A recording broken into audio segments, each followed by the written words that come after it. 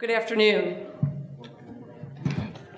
My name is Diana Hess. I'm from the University of Wisconsin-Madison, and I'm very pleased to be the chair and moderator for the session uh, Growing Up Divided. This is a rather remarkable project that uh, looked at uh, young people in three societies, South Africa, the United States, and Northern Ireland. Uh, at the time the project was conceived and was being executed, I was working at the Spencer Foundation, and one of my jobs was to work on an initiative called the New Civics Initiative.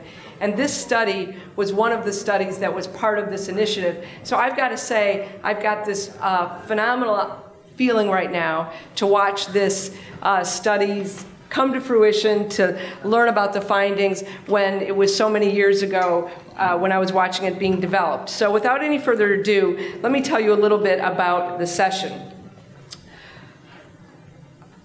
At the beginning, we're going to have several pretty brief presentations from researchers about their work and their findings about how young people grow up in divided societies and how issues of division affect their sense of civic engagement and their understanding of democracy. And in the second part of the session, we'll have time for questions and answers. First, we're going to have a very brief introduction of the project writ large by co-project director Sarah Freedman, Co-project director Karen Murphy will talk about some of the divisions in these societies. Then Jaron Shin and Dennis Barr will explain the results of surveys of student senses of civic engagement. After that, Zina Besaravich and Sarah Freedman will provide two examples from the United States of students' civic development with a focus on effective supports in schools and families. And finally, presuming the technology gods want to shine on us, we will hear from project collaborators in Northern Ireland and South Africa via video about their work with teachers, their focus on helping teachers teach adolescents about their civic responsibilities in the field in the face of growing up divided. I also want to, before we start the presentations, welcome and acknowledge and ask him to stand David uh, Bromfeld, who worked with this team on the project and has been a core part of the uh, effective execution of it. So without any further ado, could you join me in welcoming the co-project director, Sarah Freedman.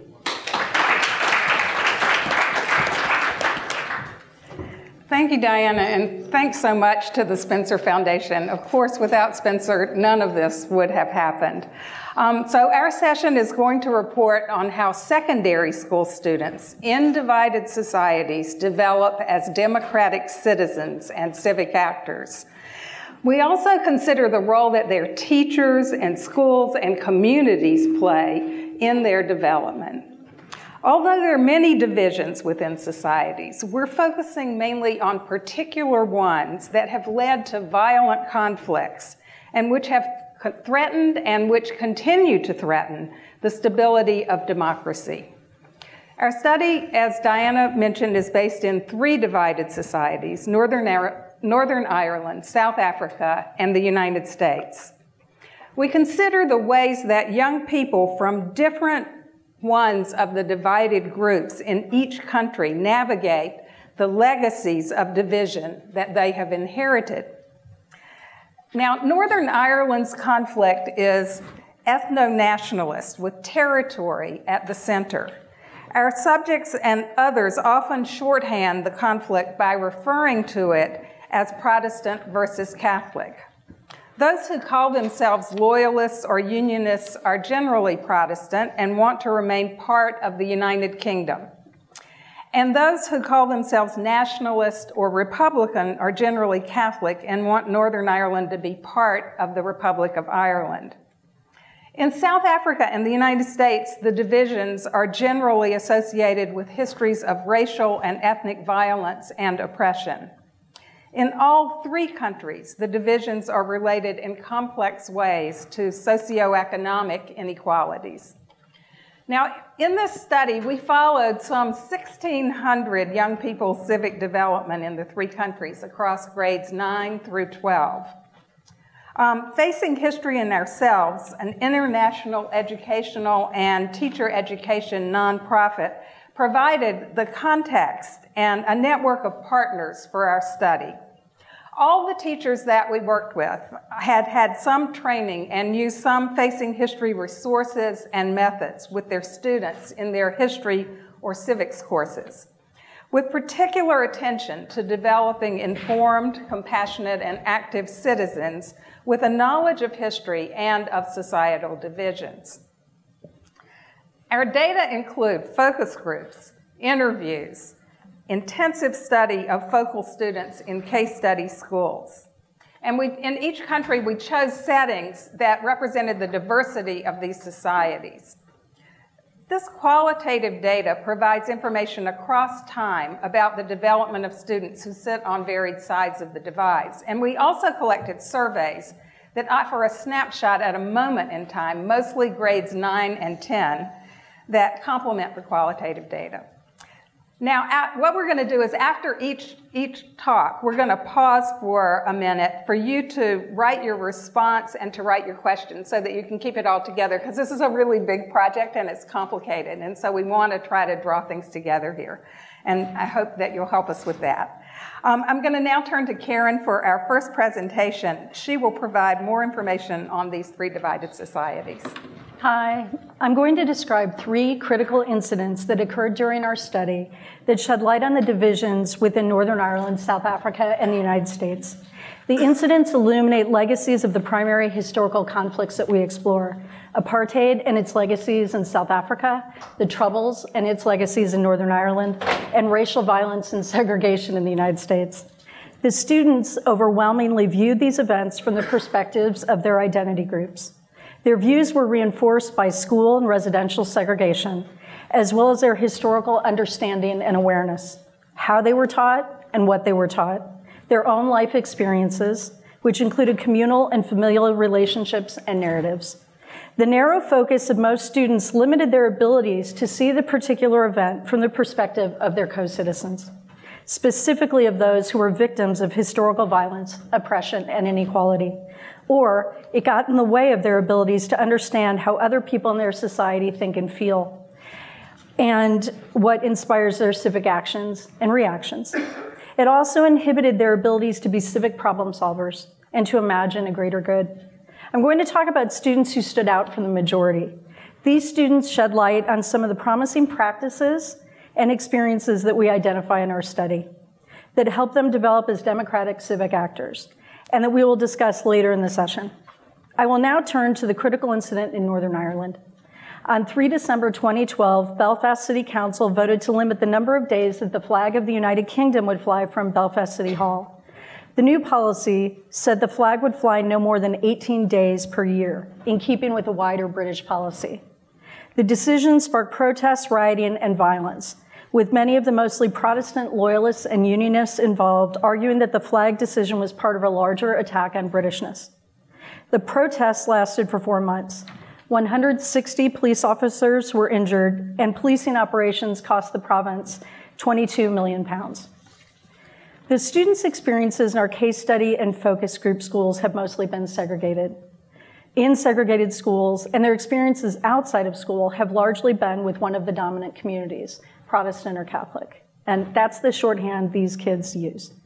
The majority of students talked as if they are outside of the conflict and of history. Many aspired to be beyond identity itself, as they affiliate it with conflict. There was a common disgust with politicians and politics, and an ambivalence about the past and the way it seemed to both loom and feel elusive. Steve, a student in our case study classroom, stood out.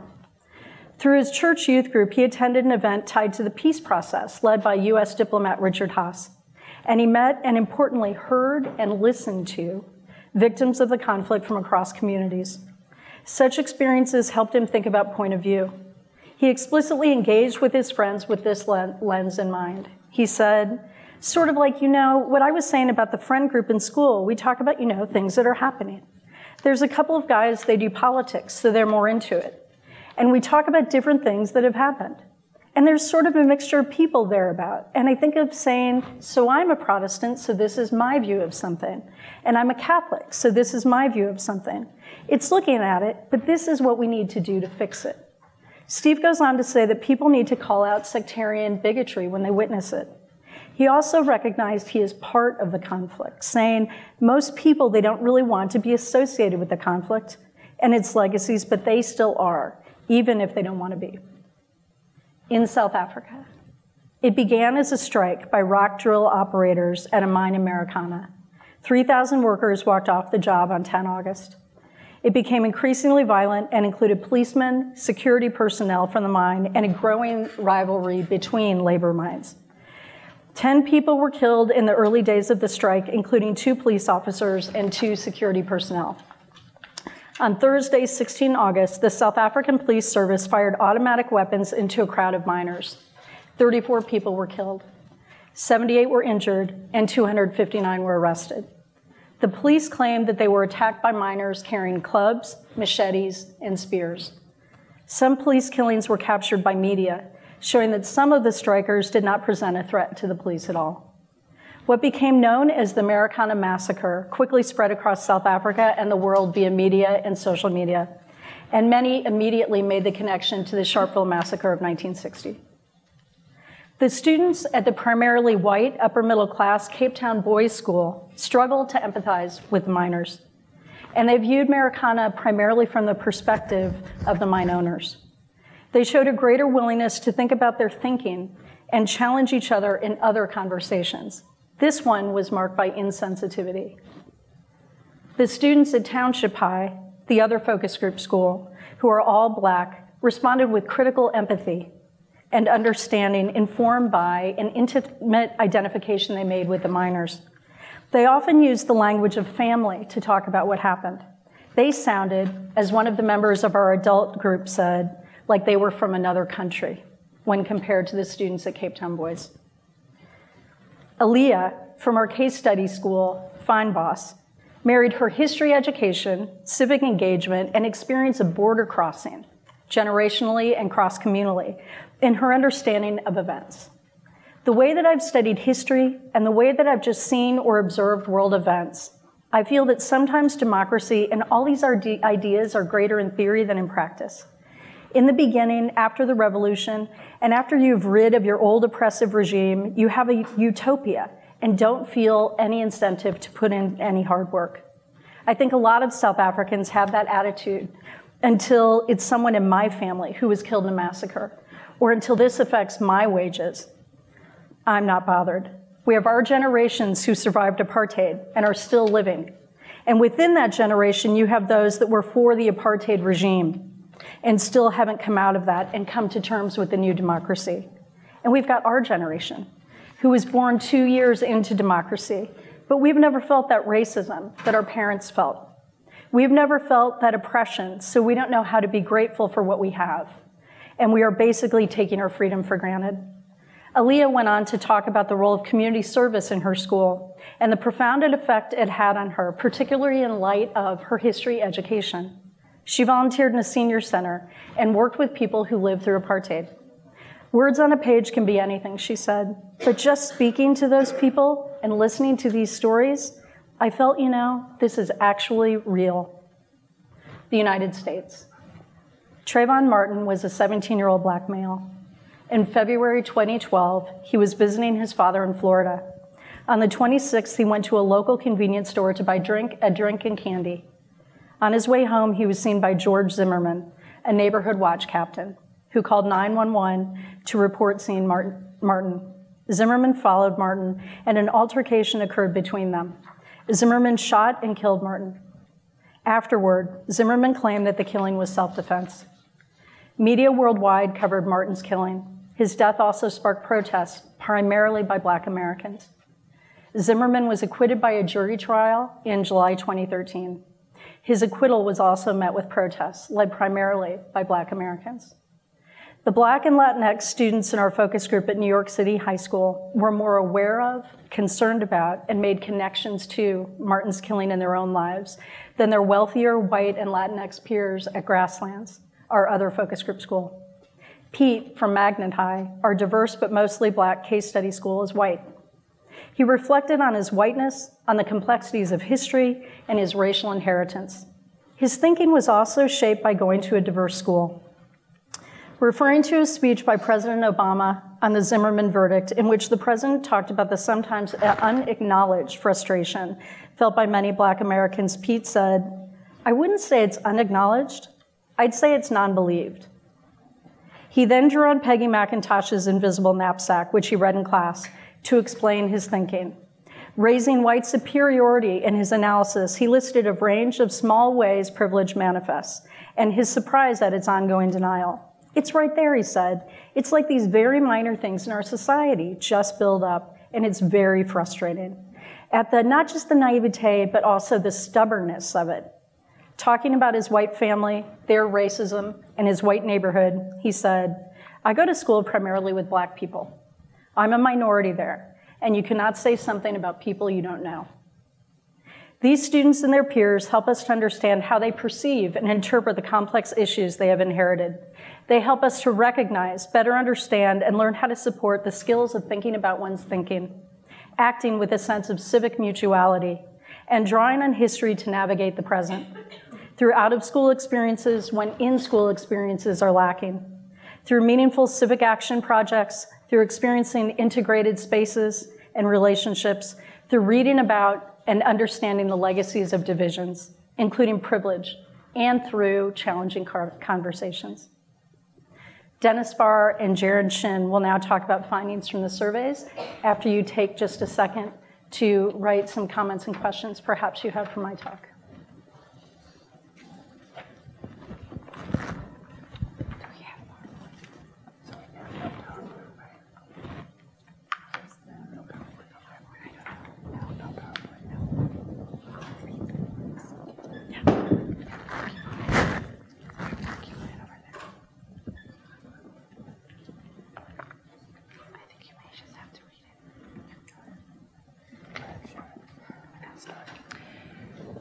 Okay, um, thank you, Karen, for vividly uh, contextualizing the project. Um, now, Dennis and I will uh, unpack what quantitative data tell us by reporting our cross and within country analysis result. Um, the guiding question for this part of the project is the following. What are similarities and differences in civic engagement within and across Northern Ireland, South Africa, and the United States? In order to answer to this question, we created a civic engagement survey that encompasses uh, both psychological and behavior dimensions of adolescents' civic life in and out of school.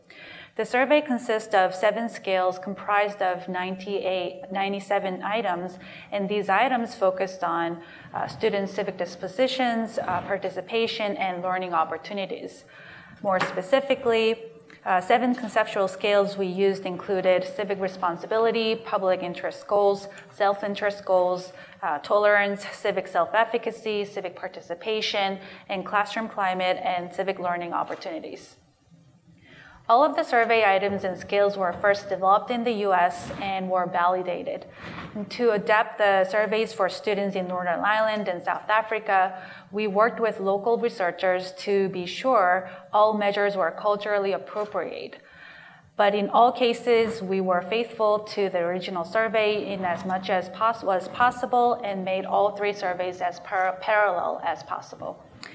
Many scales were from surveys designed by other researchers investigating particular civic constructs, and some of the surveys were, uh, we benefit from were on the slide. Unfortunately, we couldn't uh, show you, but they were, okay. yeah. Joe Kahn, Connie Flanagan, Patricia Avery, um, and, and others. Yes, thank you, Dennis. Uh, we surveyed 293 students in Belfast and in its surrounding Northern Ireland, 342 students in Cape Town and its surrounding South Africa, and 585 students in seven different regions in the United States. They were in the uh, equivalent of grade 9 or 10 and attended both public and private schools and lived in rural, suburban, and urban settings with different ethnic or religious and socioeconomic demographics. Uh, all had been taught by teachers trained by facing history and ourselves and used its materials. Uh, here's more specific information about demographic breakdowns. In Northern Ireland, students were asked to identify themselves as Protestant, Catholic, or uh, they were also given the opportunity to name another identity group. In South Africa and in the US, the students were asked to choose their race or ethnicity. In South Africa, they were given four options, including black, colored, white, and the opportunity to name another identity group. And in the US, they were given categories such as Latinx, African American, white, Asian, Native American, and the opportunity to name another identity group. All study participants uh, were also asked if they were males or females. Their socioeconomic status was classified by eligibility of free meals, school neighborhood, or parents' education levels depending on country. We ran both cross and within country analysis. Uh, before we describe our analytic strategy, we want to acknowledge the significant contribution and ongoing guidance of Ingram, Ingram Olkin, the well known award winning statistician from Stanford, who passed away soon after we completed our analysis. Uh, we want to dedicate this analysis to him as we couldn't have done it uh, without him. To compare the general civic engagement of the youth in each country, we combined the seven scales of civic engagement and created a civic engagement megascore for each student by using principal component analysis results. We then used both an unpaired t-test and a Hotelling t-squared uh, square to compare Northern Irish, South African, and U.S. youth, youth's general civic engagement. To further analyze the contribution of the three demographic variables to each student's civic engagement, we performed um, multivariate analysis of variance uh, for each country. We also examined both, interaction, uh, both uh, possible interactions between demographic variables. Now, Dennis will uh, discuss the result of this analysis. No slides, that's fine. Um, I wanted to acknowledge also that we have one of our local research partners in the audience, Tony Gallagher, who contributed to the study as well. It's great to see you. The main cross country results reveal that young people showed significantly different levels of civic engagements in the three countries in our study. The most civically engaged youth, according to our measures, were from South Africa, even though young people in South Africa, as Karen pointed out, live in different worlds depending on the divisions in the society, they are on the whole more civically engaged than those in the other two countries. Their parents lived during apartheid, and some participated to bring the entrenched apartheid government to an end. The apartheid legacy might have influenced young people to value the right to vote and the importance of democratic institutions, since democratic processes were denied to so many for so long. And since civic action was ensured, um, was what ensured democratic rights for all. On the ex- other extreme sits Northern Ireland, where, as Karen pointed out, young people have been more detached from the civic space, just wanting their conflict to go away, even though they still linger. Young people from the US sit in the middle. Our interviews with US students provide a possible interpretation of this finding. We found that US students, compared to their South African counterparts, seemed more complacent about the strength of their democracy and seemed less aware of what it took to uphold a democracy. Now let's turn to the analysis of differences within each country. In all three countries, girls reported significantly stronger engagement than boys. The gender effect stood out more consistently than SES or the major socio-political divides that drove the violence in the three societies. South Africa's patterns with respect to gender differences are slightly different from those in the US and Northern Ireland, with only two scales, civic responsibility and public interest goals driving the gender finding. In contrast, the patterns for gender in, U- in the US and Northern Ireland were quite similar to one another, such that girls scored higher than boys on almost all of our seven scales. Of most interest with respect to the socio political divides is the fact that the racial divides explain levels of civic engagement in South Africa and the US, while being Catholic or Protestant does not do so in Northern Ireland. Although in Northern Ireland there was little, there was little mingling across groups, both sides seem to be equally disaffected. Now we turn to SES. Although racial group membership explained levels of young people's civic engagement in the US, SES did not predict their civic engagement. However, socioeconomic status did explain levels of civic engagement in the other two countries. It's possible that the US results are an artifact of how SES was measured, which was asking students about their parents' education.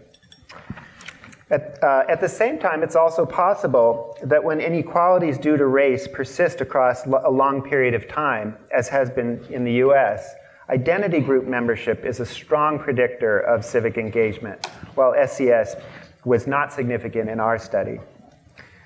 We now turn to Zena and Sarah, who will move from this snapshot in time to talk about the dynamics of civic development for two young people in the US during their secondary school years. And again, if you have some questions or thoughts, please just take a moment to write it down and we'll come to you at the end. All right. Hi, everyone. Um, can we take just a minute for you to write questions that you've got about the surveys so that you can pull those up during the question and answer? Just just like.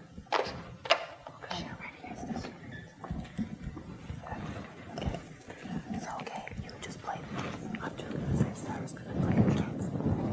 And every time there's play, then it's how it goes. And then you'll be like, right, no, thank you.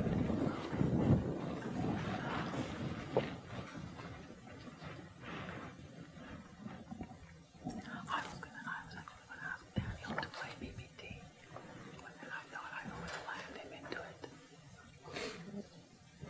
No, I have to. Shall we ask him to play BBT? That way. Yeah.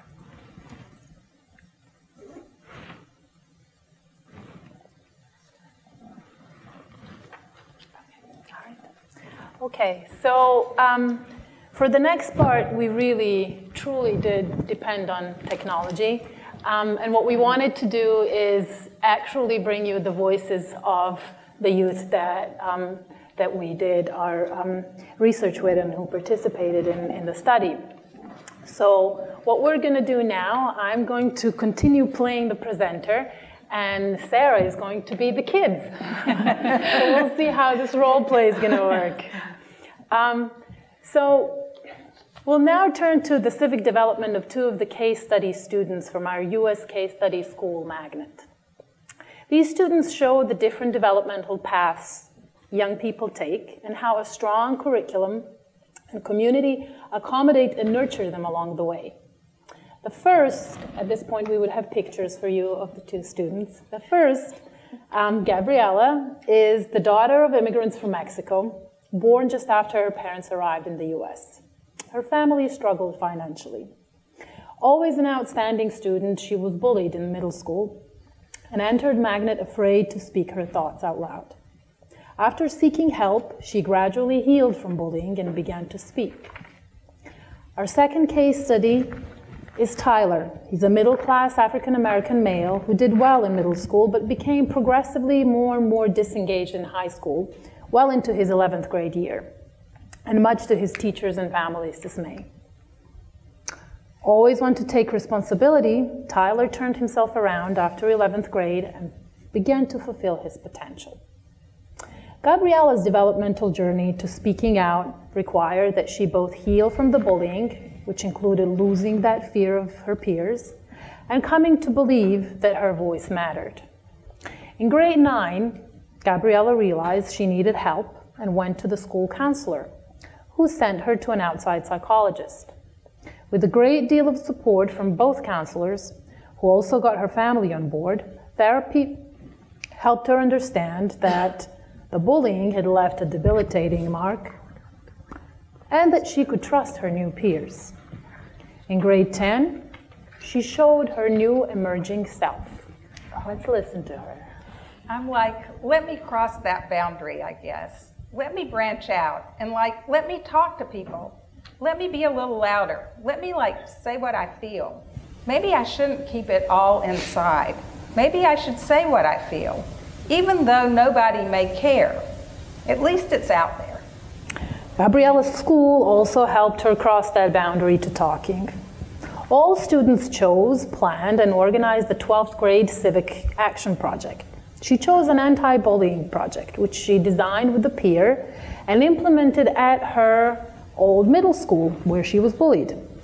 In her civic action, she continued to work through her personal traumas and chose to help others experiencing such traumas. When we asked, she explained her sense of civic action in the process showing how her personal experiences with bullying shaped her views. I think what it takes to be a good citizen is that, is that you have to help your, your community, yourself, your people, and the ones around you. You have to um, become a part of your community, be a part, a citizen of your community, and help as much as you can. Help others as much as you can, and others will help you as much as they can. Important to notice that though she was beginning to think of others, she remained focused on her community and on the personal benefits of civic action. In other conversations, we learned that as a Latina, she felt blacks got more attention than Latinx, and she felt a need to protect her group. She had difficulty empathizing with the traumas of other groups. With the support she got,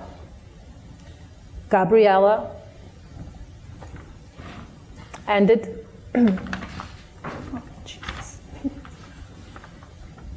ended up graduating at the top of her class and going to an Ivy League school and continuing her civic journey.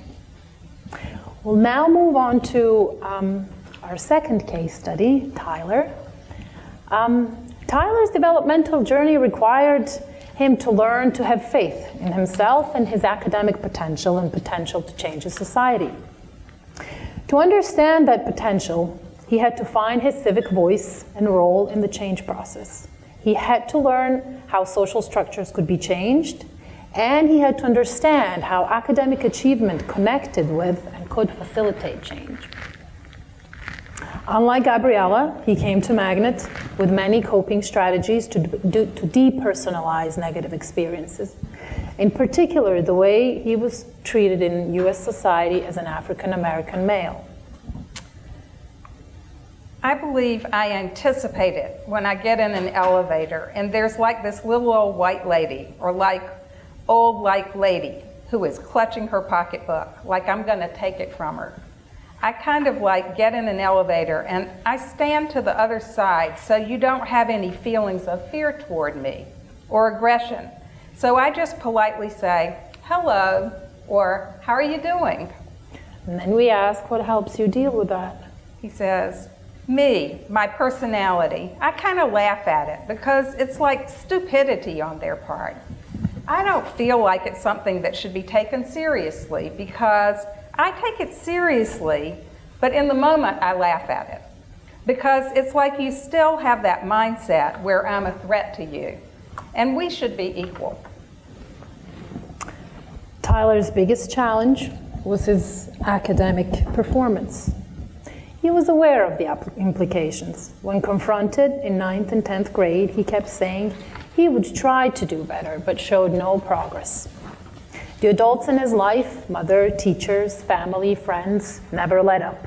Tyler was not changing his achievement patterns, but he was listening all along. He knew that he had to decide to do the work himself in order to change his ways, but the persistence of the adults was crucial. In 12th grade, he explained who inspires him. He says, Myself. I actually inspired myself more than others to, the, to do the right thing. I only listen to myself. At the end of the day, like, I have the choice. Then he says, it was people, it was people around me, like adults who wanted, who saw the potential that I have. And they like wanted to make sure that I fulfilled that potential. And they wanted to make sure that I knew what my self-worth was. So I think feeding off them, I began to see that potential that they saw and see that I could achieve great things if I put myself in the position to achieve those things. Even before he began to change his achievement patterns, there were signs that he was trying. So in grade 11, he changed his friendship group. I've added new friends to my circle because I've changed the people I hang around with based on where they're planning on going in life based on the comparison between me and them. And then I've changed people I hang around with. I've cut some people off, or like, you know, based on like what their ambitions are. By 12th grade, though, Tyler decided to focus on his schoolwork to fulfill his potential. This decision coincided with his social action project that had a personal grounding, but also addressed a major societal problem related to the divided society he inhabits. He explains that he wanted to create change by getting out the black youth vote. I recently turned 18 in April. So when I chose my action project, it extended from that. So I became eligible. I registered and I looked at the numbers, and people were at City Hall talking about they wish more youth would come in and register to vote. And I took that from them. So then I, this year, this month, I went to this community college in my town and I gave a presentation about the importance of youth voting and gave them instructions on how to register to vote. And yeah, it went pretty well. And indeed, it wasn't just the project that went well. Tyler was accepted by one of the historically black colleges where he has thrived.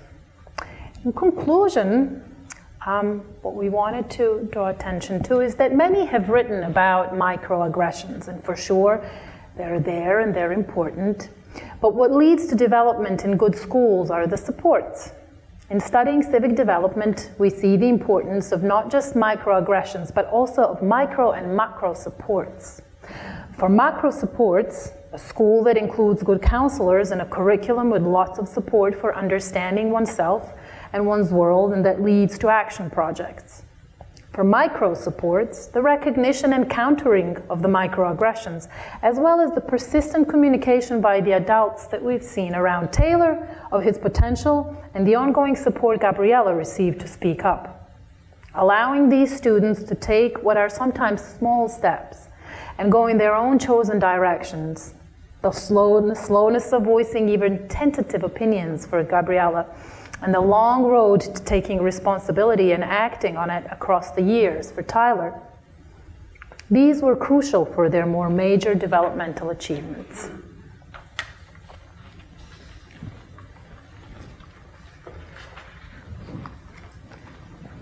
Please join me in thanking our presenters.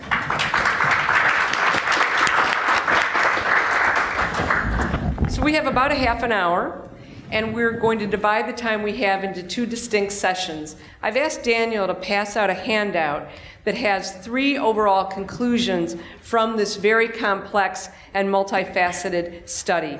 As the handout is coming around, you'll notice that the first conclusion is that empathetic learning across identity groups is necessary but insufficient for development. The second conclusion is that learning about threats to democracy is necessary but insufficient for development. And the third finding is that schools can create structures to help all young people develop as ethical and democratic citizens and civic actors. What we'd like you to do is find a partner, or if you would like to work with a smaller group, team up with three or four other people.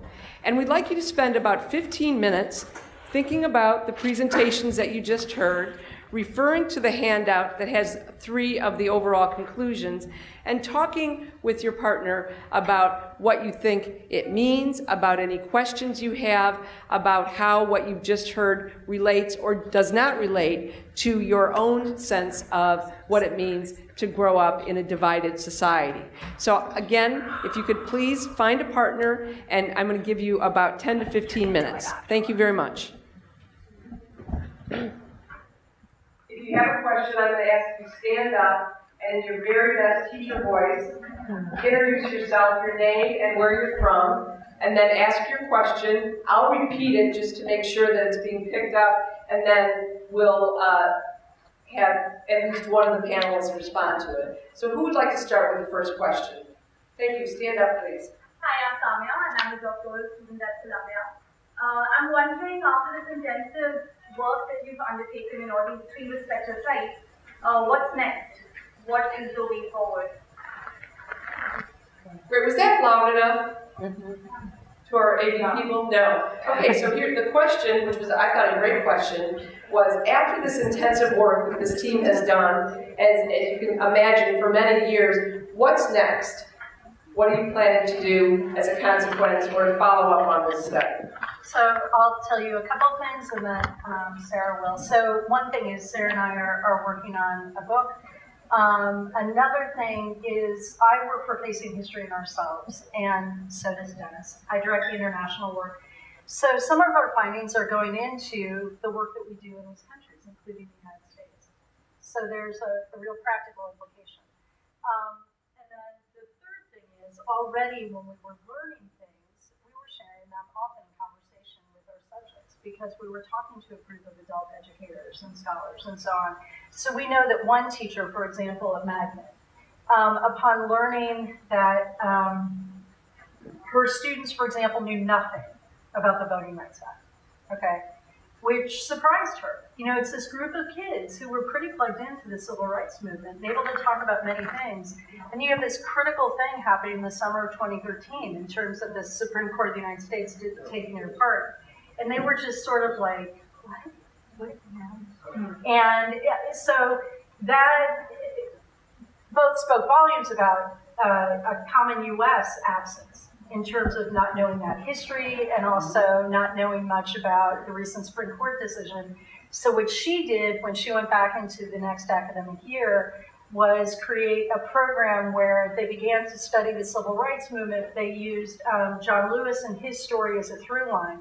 And it really began actually with um, the Ferguson, Michael Brown was just killed, and there were the protests in Ferguson. So they were able to really start there use John Lewis and personalize, uh, in some ways, this semester long course, and the kids were very plugged in. Now, I will also say that because of where we are in our democracy right now, um, the kids are in a very different place in terms of their knowledge about democratic norms and processes and institutions. Would anyone else on the panel like to respond? I, will just I'll just say a couple words about the book that we're working on. Um, we're we're hoping to use use the data as an opportunity to kind of look for the glimmers of hope and the the places where something has been effective and has really influenced kids to change because we did see kind of remarkable examples of civic development, different types of civic development. And so we're hoping to look carefully at those the supports that enable that civic development. And it's hard to communicate in a, a short speech what that support really looked like, but in the book, we hope to really spin out what it takes to um, help kids move forward in terms of civic development. Great, so we now have a microphone, so if you could just stand up and go to the mic, that way I don't have to take up the time repeating the question. Hi. Is this turned on? Okay. So uh, my name is Terry Egan. I'm from Educational Testing Service in Princeton. And um, I have a question that struck me as you were all speaking earlier because I was really thinking about current events and uh, growing up divided in this day and age. Have you considered the effect of education on the students involved? And I think you were just referencing it, Sarah.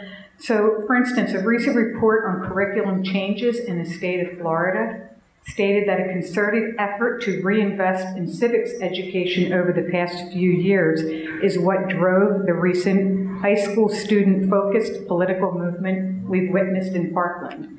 Do you think that the trend toward complacency is the result of STEM education crowding civics education out of the curriculum? And to value our rights in a democracy, don't we need to ensure that we are educating the citizenry? That's part of it. Yeah, I mean, there's been a collision, I would say this globally, about trends I've experienced and we have organizationally. One is STEM, for sure. Not that it's not important, but it shouldn't replace humanities, history. The second is history education has been crowded out, and it's often in history where some of these civics conversations happen and, and should happen also. Um, and the humanities have too. Testing, um, has also taken up an enormous amount of space. Um, and professional development. One of the things I've seen is where teachers might spend a week doing something intensively over the summer or another time. They are more in school doing PD. It's tied to the school. If schools are segregated, that's a real problem. because then you have um, these, you know, single identity communities often doing PD in on-site. Uh, so there's been sort of a perfect storm, I think, of these different factors. And I've also seen teachers go from being active curriculum developers into curriculum delivery um, after this real moment of creativity uh, 10 years ago, where I would say teachers were more in the curriculum development space. I guess the other thing that, you know, I've been thinking a lot about, you know, how relevant are our results collected a few years ago versus now. Um, because kids are out there and active and everybody is really excited about that. And I'm not sure whether compared to South Africa and Northern Ireland, the results would be any different for the US. They might be, or they might not be. And I think that's that's really an open question. One of the things that, that strikes me is that we tend to see protests when people feel threatened, wh- whoever they are, and whenever that happens. And um, we were talking yesterday about the fact that protest is a part of civic action, but it's not the only thing. And it doesn't always go along with really understanding deeply the threats to democracy. Now, the other thing that's happened in since Trump has been elected, have a, a lot of anti-Trump people have talked about threats to democracy quite explicitly, and that's one of the things that has taken up more space in the news. And and so, so there, you know, lots of different forces going on that could um, affect how kids are thinking, and we really don't know the answer. And, and one last thing, there was an interesting um, report on Holocaust education last week and um, some of the findings are, are, very disturbing, especially for the United States. But you might remember that 14 years ago, in 2004, there was an active anti-genocide movement with Darfur at the center. And um, I think that there's some soul searching we have to do in this country about uh, is this a country that becomes excited and engaged only in opposition? Um, or is it possible to uphold democracy when and movements such as anti-genocide movements um, at moments when times feel good and you have people who are saying the right things and supporting you and, and, and so on. So the other panelists. Yeah, I, I, I, have a couple of different responses to your question. Um, I want to, we're spending a lot of time on this question, which is great. I, I'm going to just say that uh, if I flip the switch and I play the role of program evaluation guy, which is what I do for Facing History and Ourselves in my other world, um, I've seen incredible uh, evidence that not only Facing History can work, but other approaches can work in helping teachers, especially uh, professional development approaches that integrate with the best practices in PD to help teachers to engage students in ways that can be very difficult to do without proper preparation. And so I think we don't know about the Florida case and whether or not civic, you know, professional development for teachers around civics in Florida is making the difference.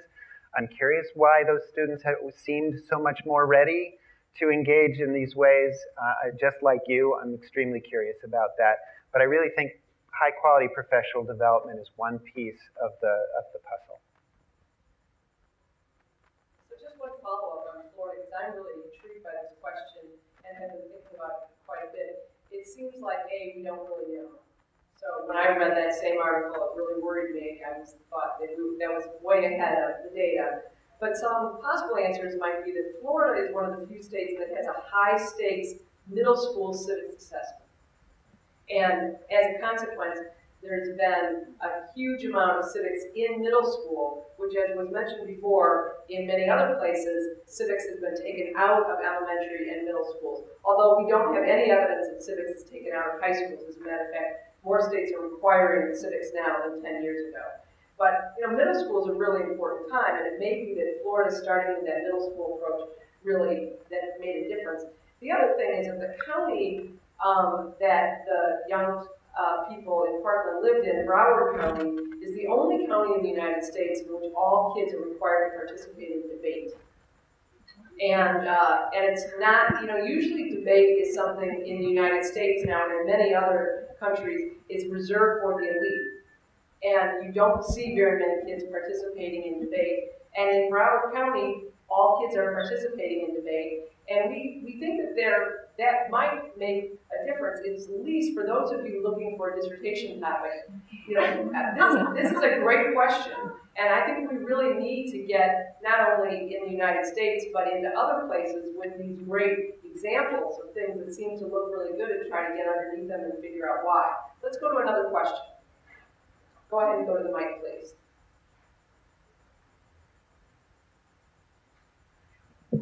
I'm Elaine, a doctoral student from Singapore. Thank you so much for sharing. Um, my question is um, I would appreciate hearing any of your comments regarding whether the way the curriculum was designed did it contribute in any way towards um, creating more, you know, empathetic learning experiences for the students? Yeah. So my question is more from the design of the curriculum perspective. Thank you.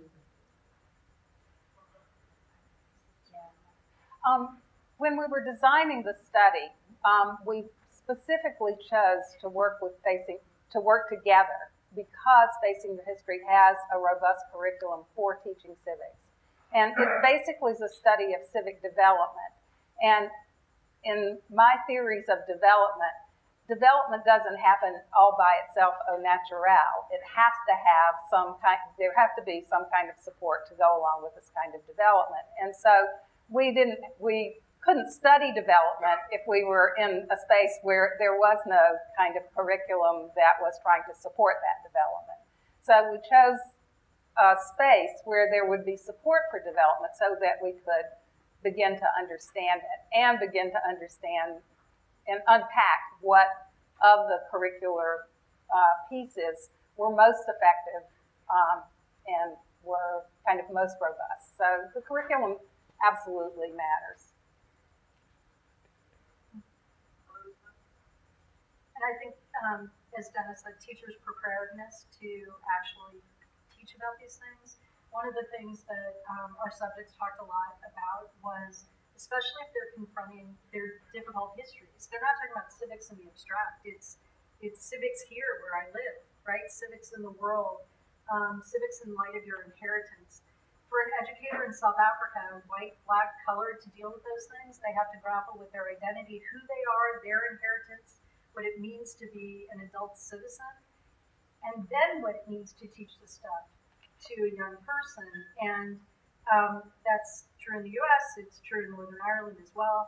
And that's hard work. It's not just learning something, teaching it, it's wrestling with it, thinking about the implications of it for yourself. And um, in many ways, carrying the weight of these things while you're still living that history. Just to add to that, I mean, to make it use explicitly the word pedagogy, I mean, that it's not just the materials or what curriculum looks like but how it's engaged with and how it's used.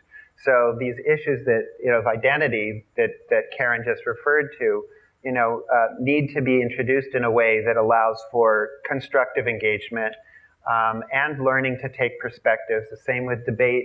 You know, how debates are done, you know, can vary. You know, it just so I think there's a lot of skill involved, um, in, and I think that teachers um, can do can obviously do a great job with it, but support need certain supports at times to to do it uh, in a way that's conducive to going this deep with these kinds of controversial issues. So I want to turn to Zena for a moment. As a developmental psychologist, I'm interested in your current work about the moral development of young people and what you see in this study uh, from a developmental psychologist perspective that is worth noting to the group. So I'll maybe I'll I'll try to keep it short um, and maybe just uh, circle back to what um, what Sarah and I were presenting in the in the last piece about um, about importance of micro supports and macro supports.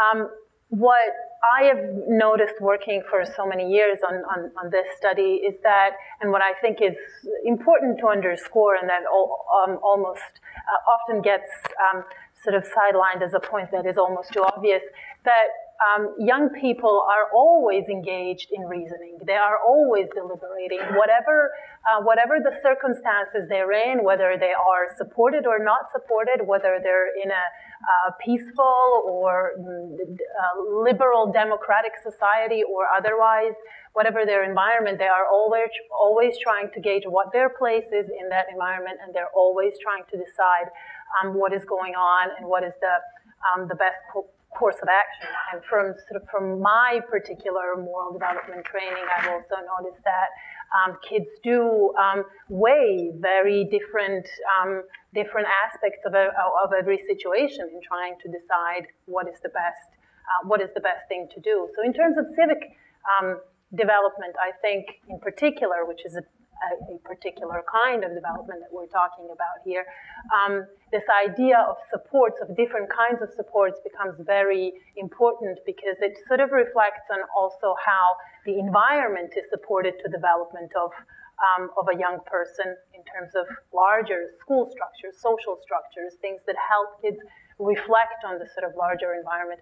And also the micro supports that sort of very individually and on very individual and um, personal basis um, support the kids along the way um, um, in sort of literally sort of teachers kind of holding their hands instead of um, buoying them.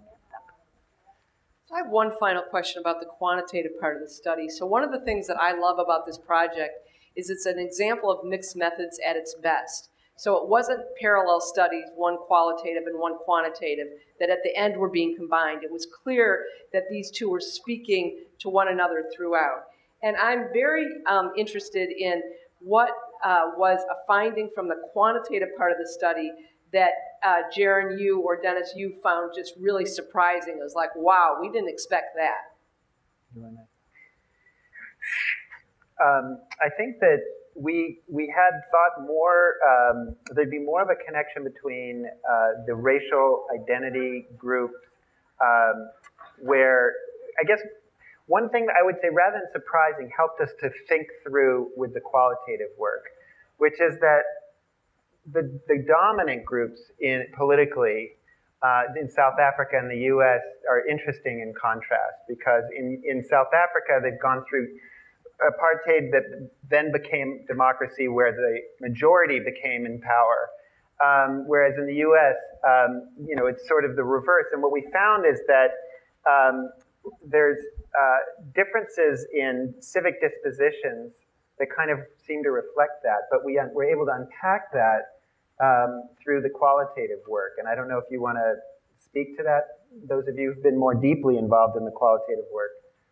I'm going to have to cut you off on that. You will get to speak to that, but it'll be after the session. Okay. Um, so it's great news to hear that there's a book coming out about this. I know you're doing a lot of other writing as well. I want to make a pitch for those of you who are doing uh, civic development research to really take a look at the uh, scales that were developed. I mean, I think some of the development work that was done on both sides, quantitative and qualitative, is really exceptional and is going to move the field forward beyond this study. So um, again, it is my, my, great pleasure to have been part of this session. I want to congratulate you on a really amazing study. I want to thank the other people who were in the room who were involved in this study and thank all of you for coming. So please join me in thanking our panelists.